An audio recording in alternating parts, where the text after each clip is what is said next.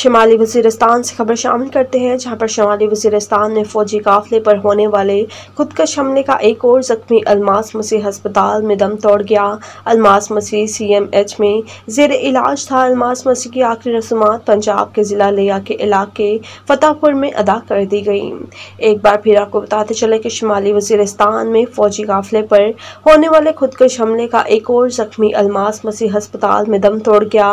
Almas Masih C M H में जेर इलाज अलमास मस्जिद की आखिरी रसूमात पंजाब के ज़िला लिया के इलाके फतेहपुर में अदा कर दी गई।